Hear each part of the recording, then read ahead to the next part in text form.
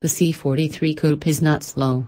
The AMG's twin turbocharged 3.0 liter V6 pushes the 3,908 pound two door from 0 to 60 miles per hour in 4.1 seconds and through the quarter mile in 12.8 at 109 miles per hour, besting the 467 horsepower Lexus RCF to 60 miles per hour by 0.2 seconds. Thank you. All-wheel drive, and matching its quarter mile time. The C43's passing acceleration was similarly impressive, with the coupe accelerating from 30 to 50 miles per hour in 3.0 seconds and from 50 to 70 miles per hour in 3.4, figures that again put the 105 horsepower stronger RCF in its crosshairs.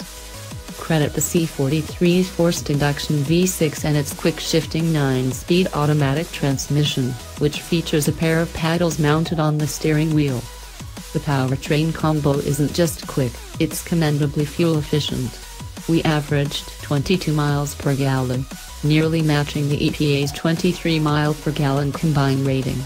We also saw 29 miles per gallon during our steady state 75 mile per hour highway fuel economy test, beating the EPA's 28 mile per gallon highway figure.